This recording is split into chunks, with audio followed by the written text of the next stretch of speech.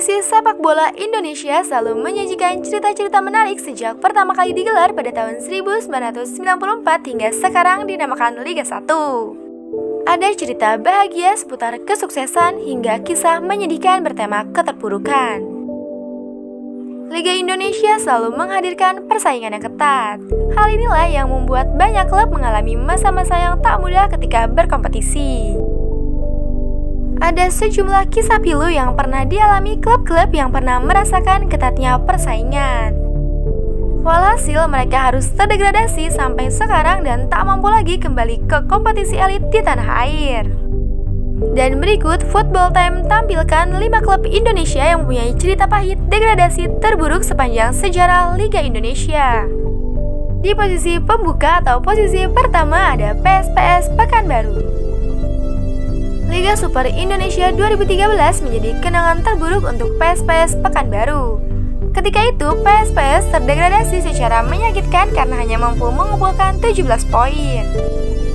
Hasil dari 4 kemenangan dari 34 pertandingan, 5 kali imbang dan 25 kali kalah. Di musim tersebut pula terjadi kekalahan terbesar sepanjang sejarah Liga Indonesia, di mana PSPS hancur dengan skor 9-1 dari Persela di Surajaya. Hal tersebut menambah luka untuk skuad berjuluk Askar Bertuah ini. PSPS Pekanbaru bermain di kasta tertinggi Liga Indonesia sejak musim 2010 dan perjalanan mereka di kasta tertinggi hanya berlangsung tiga musim sebelum akhirnya terdegradasi. Dan hingga saat ini PSPS masih harus berkutat di Liga 2 dan belum bisa kembali ke kasta tertinggi sepak bola Indonesia. Dan selanjutnya ada Persijap Jepara. Musim mengecewakan juga pernah dialami Persijap Jepara pada Liga Super Indonesia 2014. Ketika itu, Liga Indonesia berlangsung dengan dua wilayah yang masing-masing diisi oleh 12 tim. Dan di musim tersebut Persijap hanya mampu mengumpulkan 8 poin pada klasmen akhir wilayah barat. Jumlah tersebut didapatkan Persijap dalam dua kemenangan, dua kali imbang, dan 16 kali kekalahan. Klub berjulukan Laskar Karinyamat itu akhirnya harus turun kasta dengan berada di posisi buncit. Dan hingga saat ini Persijap belum lagi mampu kembali ke kompetisi elit Indonesia. Persijap saat ini berlaga di Liga 2 setelah berhasil promosi karena menjadi juara di Liga 3 2019. Dan selanjutnya di posisi ketiga ada Versegres Gresik United. Pada era Liga 1 pertama, tepatnya pada 2017, Persegres Gresik United mencatatkan musim terburuk sepanjang sejarah klub.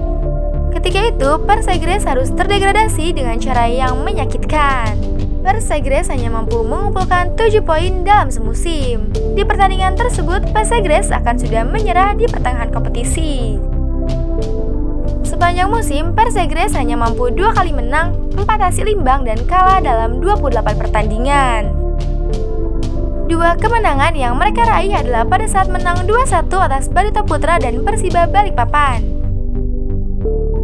Pelatih Persegres sendiri, Hanafi saat itu bahkan kebingungan dengan kondisi timnya yang selalu kalah. Saya sendiri juga tidak tahu apa yang terjadi. Padahal saya selalu memberikan motivasi kepada para pemain. Kami merasa bisa, tapi yang terjadi malah tidak bisa. Kenyataannya kami selalu kalah, ujar Hanafi. Dan sejak saat itulah Persegres belum pernah kembali lagi ke Liga 1. Klub yang bermarkas di Gelora Joko Samudro itu kini bermain di Liga 3. Dan di urutan keempat ada Persikap Bandung. Persib Cup Bandung mencatatkan musim terburuk di Liga Indonesia 2002. Ketika itu, tim berjulukan dalam Bandung hanya mampu mengumpulkan 5 poin dalam semusim.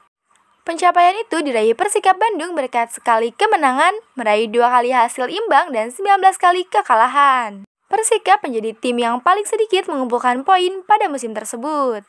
Dan sejak saat itulah Persikap tak pernah lagi mampu kembali ke kompetisi elit Indonesia. Saat ini Persikap sendiri masih eksis di sepak bola Indonesia dan berkiprah di Liga 3. Dan klub yang terakhir ada Persija Tim. Persija Tim pernah merasakan musim yang sangat berat di sepak bola Indonesia. Pada Liga Indonesia musim 1996-1997, Persija Tim harus menelan pil pahit terdegradasi dengan cara menyakitkan. Ketika itu, Persija Tim menempati dasar klasmen wilayah barat dengan hanya mengkoleksi 3 poin saja. Jumlah itu dikumpulkan Persija Tim dengan meraih 3 kali imbang, 17 kali kalah, dan tak sekalipun menang. Catatan tersebut merupakan pencapaian terburuk yang pernah diraih klub Indonesia dalam satu musim liga. Persija Tim harus terdegradasi, namun mereka berhasil kembali ke kasta tertinggi pada musim 1990 hingga 2000. Nah, itu dia pembahasan mengenai 5 klub dengan catatan degradasi menyakitkan dan paling buruk yang pernah terjadi dalam sejarah Liga Indonesia. Sampai jumpa di informasi unik dan menarik lainnya seputar sepak bola dan salam olahraga.